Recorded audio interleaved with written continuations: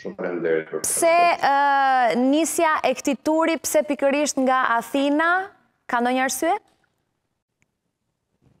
Në radhë parë, pse ky tur? Edhe ne kemi thënë që në kongresin e 8 dhjetorit, edhe në edhe në studion tuaj kam qenë që i kam shprehur, kemi pasur disa shtatë shtylla për të cilat Partia Socialiste kërkon të rienergjizojë veten e saj, Por e gjithë strategjia dhe në fakt edhe kongresi është ndërtuar mbi atë çfarë Partia Socialiste i afron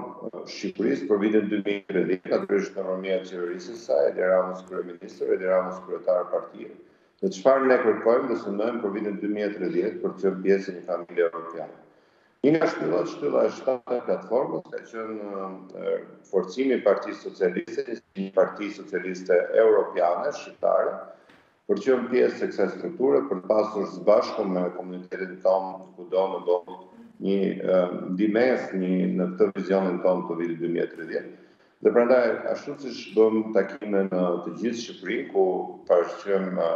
çfarë ne duam të afrojmë për rienergjizimin e Shqipërisë, e shqiptarisë, drejt vitit dy mijë e tridhjetë, jemi edhe në këtë tur, i cili do të fillojë me Athinën, ku pse në Athinë, nuk ka shumë arsye, por një arsye të vetme e ka, që është komuniteti më i madh shqiptar jashtë Shqipërisë, që ka lidhje me Shqipërinë, unë nuk dua të hyj në Shqipërisë dhe Diasporës. Pra ne po përpiqemi që Edi Rama, kryetari i partisë, por më shumë kryeministri i Shqipërisë, të bëjë një takim me emigrantët, dhe aty nuk është vetëm një takim i Partisë Socialiste, është me gjithë komunitetin shqiptar që jeton në Greqi, sidomos në qytetin e Athinës. Duam të kemi një takim ku të shpalosim vizionin tonë për vit për vitin 2030 dhe të kërkojmë rienergjizimin e gjithë faktorit shqiptar, e cili padyshim nuk mund të zhvillohet vetëm nga Shqipëria, do një mbështetje të madhe nga shqiptarët kudo që janë në botë, pasi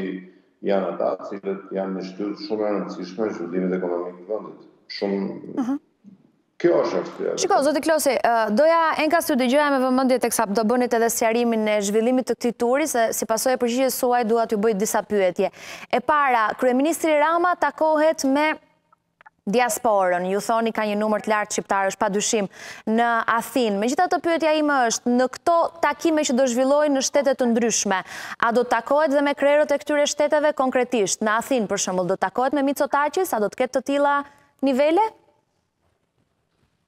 Nuk jam pjesë e kabinetit që përgatit vizitën, qartë që ne kemi zgjedhur një ditë pushime, pra një ditë të diele, ditë kur emigrantët e kanë më të thjeshtë që të afrohen nëpër takime të tila. Natyrisht nuk mendojmë që është shumë e thjeshtë që të mbledhësh shumë shqiptarë, sepse janë të angazhuar, kanë detyrat e tyre, kanë punët e tyre, janë në fillim të sezonit turistik dhe ka qenë një kërkesë e organizatorëve të takimit nga dhe shoqatave të shqiptarëve që po organizojnë takimin në Athinë, që të bëhet ditën e diel, bëhet tani në periudhën në fillim maj, pasi më pastaj i gjithë komuniteti futet në një punë të madhe që ka të bëjë me sezonin turistik. Dhe përsa i përket vizitës së Edi Ramës në Athinë, Në bazë të informacioneve që unë kam, do të jetë thjesht një vizitë e fokusuar te takimi me tash me komunitetin e madh shqiptar, besoj dhe me grupimin tonë të Partisë Socialiste, sepse është synimi i këtij turi po ashtu forcimi i degëve të Partisë Socialiste kudo në ku ka shqiptarë. Ne nuk e mohojmë faktin pse e bëjmë këtë, ne po përgatisim dhe kemi shprehur vullnetin tonë të madh për votën e emigrantëve, prandaj ne duhet të forcojmë strukturat e Partisë Socialiste, jo vetëm për të mbajtur kontakte me me shumë shqiptarë që jetojnë jashtë, por dhe për të krijuar strukturat tona, degët tona, kudo ku ka shqiptarë. Dhe në fakt, ky është edhe qëllimi i mënyrës se si po organizojmë takimin, unë me një grup kolegësh që po merremi me organizimin e aktiviteteve, kemi qenë dy herë në Athinë, kemi takuar komunitete të ndryshme ku do krijojmë degët tona të partisë, por edhe do takojmë komunitetin. Pra, thashë, ftesa është për gjithë komunitetin, biseda është për Shqipërinë, për Jo, mendova mos ndoshta do kishte ndonjë takim me zotin Mitsotakis duke pasur parasysh çfarë ka ndodhur mes Shqipërisë dhe Greqisë këtë periudhë, duke pasur parasysh dëshirën e Greqisë për të bërë eurodeputet Fredi Belerin, situatën e tij këtu në Shqipëri. Ndaj ju pyeta konkretisht vetëm për atë. Jo, siç po them, nuk kam detaje të të gjithë aktivitetit të Edi Ramës në Athinë,